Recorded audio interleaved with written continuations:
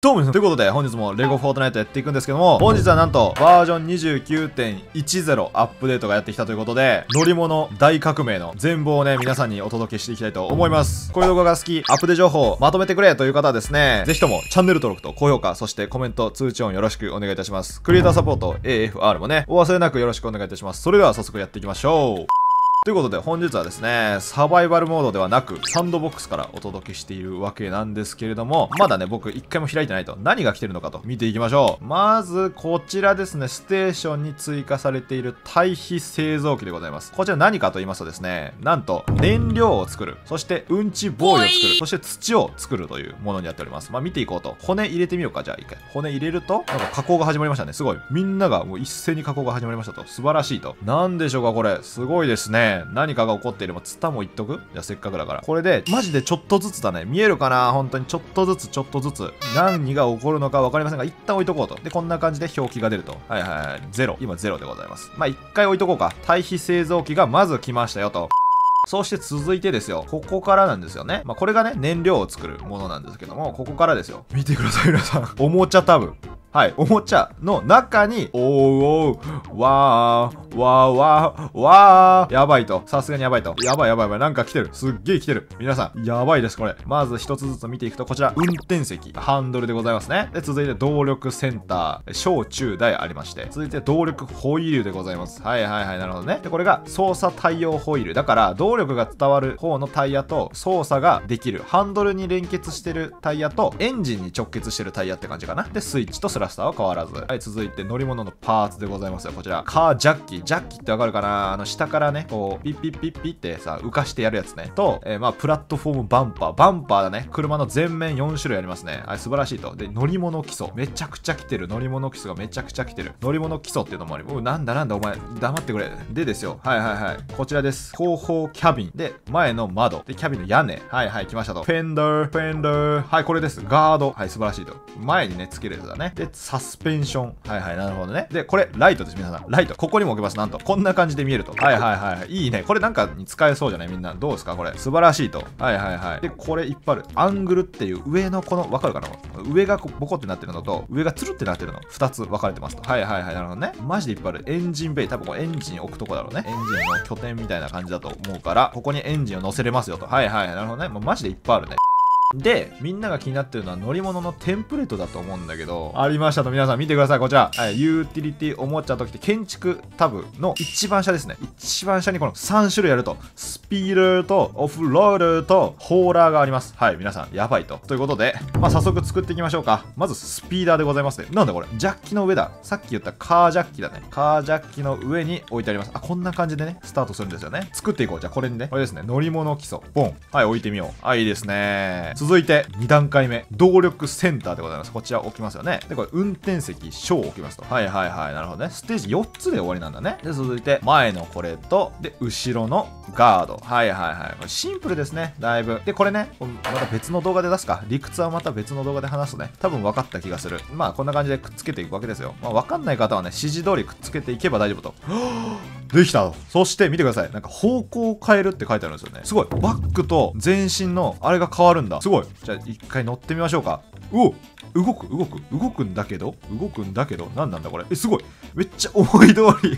すごいあのフォートナイトのバトロワの車と同じ感じで操作できますね。えー、やばすぎるこれ。えー、これは革命だよ。やばいと。これサンドボックスだからかな？多分。サバイバルだと多分燃料がないと動かない気がするんだけど。今サンドボックスなんでね。で降りるときは普通にパッと降りると。これが多分これになると。でこれを開いて入れる。そうすることによって多分動くようになるんじゃないかと。はいはいはい。でこれで乗っててみよう。ういよー。ういよー。やばいとこれ。やばいとこれ。さすがにすごすぎる。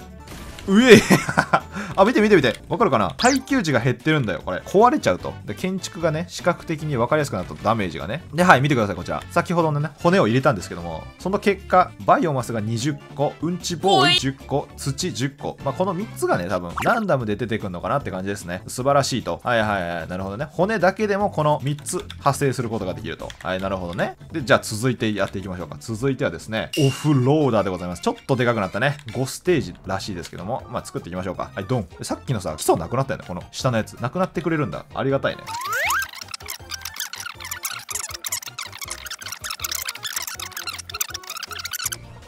はい。ということで、なんとオフローダー完成いたしました。見ていきましょう。乗っていこうか。一回乗っちゃう？これ。まずここにね、動力セルを入れるわけですよね。二つ入るね、これ。中だから多分大きいんだろうね。ちょっとさっきの小だったからさ。で、これ乗りますと。座ります。ウェイウェイウェイウェイ。やばいと。いいマジ ?R とか F とか何これ？何これ？右下にさ、なんか書いてあるじゃん。1、2、3って。これ何なんだろう？何なのかわかんないですけど。何も起こんないね。はいはい。なるほどね。操作方法の表示非表示も変えることができると。はいはいはい。すごいね。マジで、ほんとパッドとかだったらマジでマリオカートだね。マリオカートとしてできると思うんだけど。え、めっちゃすごいよ、マジで。かっこいいね。これテンプレだとは思えないね。ということで、続いてですよ。続いてが、はい、ホーラーでございます。やばい。これはね、もう、やばいと。早速作っていきましょう。ホーラー。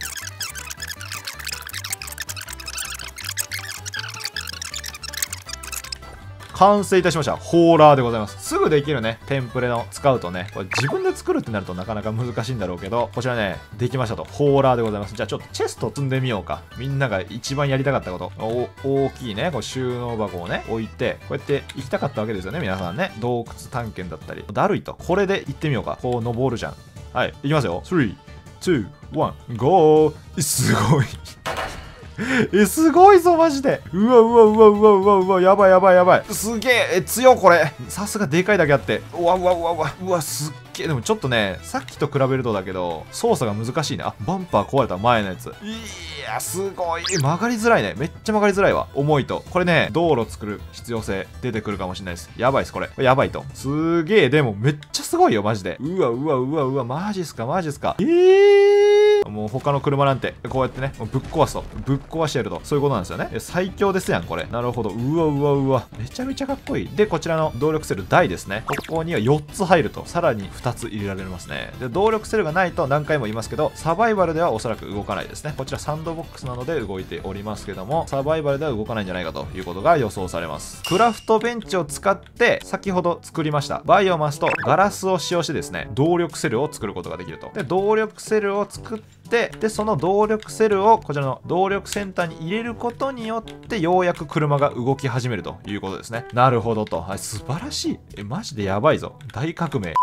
そして続いての要素がですね、こちらです。レンチでございます。こちらですね、何に使うのかと。これね、どういうものかと言いますとですね、じゃあスイッチもね、3つ用意しておこうと。こんな感じでやるじゃないですか。で、じゃ仮にね、これを動かしたいのをこれにしようと思った場合なんですけど、1個のスイッチで全部動いちゃうと。でも、これをレンチで、例えばここを1にしようと。1にしますね。で、ここを1にしようと。はい。じゃあ次真ん中をこれに対応するのがこれにしたいという発想があるじゃないですか。じゃあ、これ2にしよう。はい。2にします。で、これを2にしますってなりますやん。で、次こっちですよ。これ3ですよね。で、これをじゃ3にしてみようと。するとどうなるかやってみましょう。まずじゃあ、まっすぐ進みたいと。すると、ここだけ動くんですよね。で、じゃあ、こっち？じゃあ、右曲がりたい。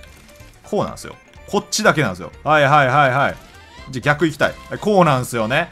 うわーおわーおわーおやばいと。チャンネルを割り当てることによって、好きなところ、これだったらこれ、これだったらこれ、これだったらこれっていう風に割り当てられると。自分でね、好きなところ、このスイッチを押したらこれ、みたいなのが自分で設定できるようになりましたと。これ4つとかなら4つになるのかな？こうスイッチ押すじゃん。スイッチ置くじゃん。スイッチ置いて、で、スラスター置くじゃん。じゃあスラスターここに置いてみると、チャンネルは何個までなんだろうっていうのが気になりますよね。3つまでなんですね。チャンネルは3つまで設定できますと。だから今みたいな前、横、右、左っていうのが、まあ、王道になってくるかなって感じかな。はいはいはい。すごくね。チャンネル3つまで設定できます。上限は3つでございますね。これがレンチの機能でございます。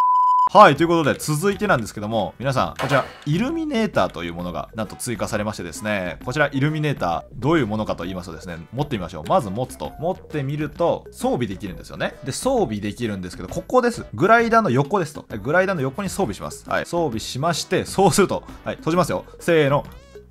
おいおいなんか光ってんだけど俺。俺が光っちゃってると。やばいやばいやばい。なんかね、オーラが出てるでしょ。すごいと。暗闇じゃないと分かりにくいんだけど、すごいと。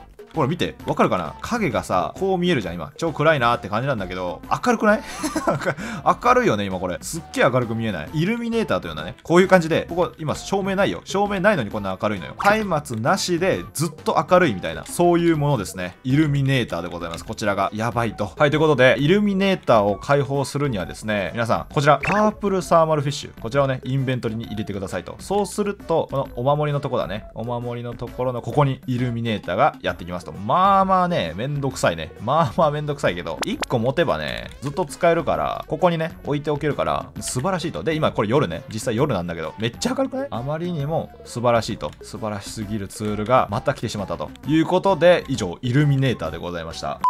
はい、ということで皆さん、雪山にやってまいりました。ここに来たのには何か理由があるのかと。はい、ありますと。ここでね、掘ってみよう。ということで皆さん見てください。こちら、アイテム、雪でございます。最もクールなレシピに使用するひんやり冷たい素材、食べることのできる冷たい砂みたいなものだ。意味がわかりませんと。ということで、雪が追加されるとですね、レシピが解放されます。アイスクリームでございますね。で、そしてジューサーですね。ジューサーをこう開けるとですね、見てください。スノーベリーアイスクリーム。効果すごい。このスノーベリーシェイクより効果がすごいと。ハートの数がね、プラス5されております。食べると回復し、空腹度が減り、一時的に暑さ耐性が付与される。気温が低いところより高いところで食べる方が回復量が多いらしいです。すごいね。回復量も変わってくると。そこに必要なのが雪なんですよね。で、続いてがスパイシーアイスクリームです。はい、こちらですね。食べると回復し、空腹度が減り、一時的に寒さ耐性が付与される。気温が低いところより高いところで食べる方が回復量が高いと。冷たいのに辛い。美味しさのパラドックスだ。ということで、こちらも雪が必要になってきます。そして続いてシンプルなアイスクリームですね。ただのアイスクリーム。暑いところでね、やっぱアイス食った方がうまいよと。まあそういうことなんですよね。はいはいはい、なるほどね。以上、この3つのアイスクリームが追加されましたと。はい、ということで、こちら3つアイスクリームですね。普通のアイスクリーム、スパイシーアイスクリーム、スノーベリーアイスクリーム。3種類のアイスが追加されました。素晴らしいですね。これはもう暑い夏に向けてアイス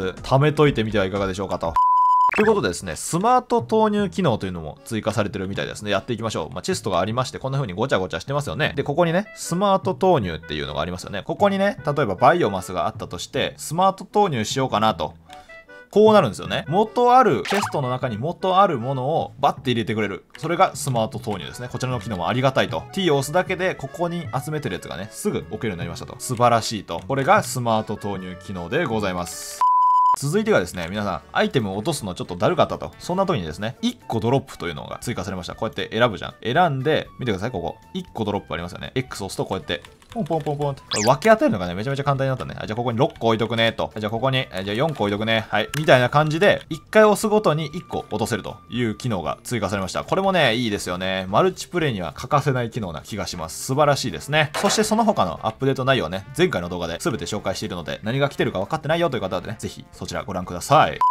はい、ということで今回のこの動画いいな、面白いな、参考になった、アップでありがとうって思った方はですね、ぜひともチャンネル登録と高評価、そしてコメント、通知音よろしくお願いいたします。クリエイターサポート AFR もお忘れなくよろしくお願いいたします。それではまた次回のレゴフォートナイトでお会いいたしましょう。またねー。